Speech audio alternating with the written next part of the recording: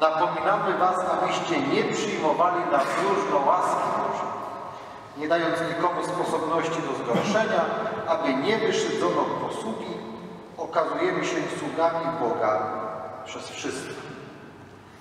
E, Ufam głęboko, że te słowa, tak wczoraj słyszeliście podczas e, wspólnej modlitwy,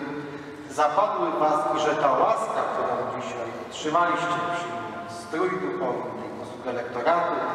i otrzymując kandydaturę do święceń, nie została Wam udzielona na próżno,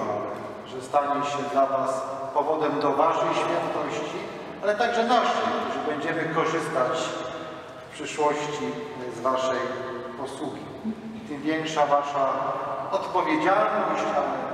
tym większe Wasze wezwanie do miłości Boga, Kościoła, wszystkich osób, które będziecie spotykali na drodze swojego życia.